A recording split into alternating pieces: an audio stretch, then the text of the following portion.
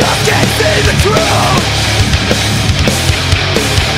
Not built not lies.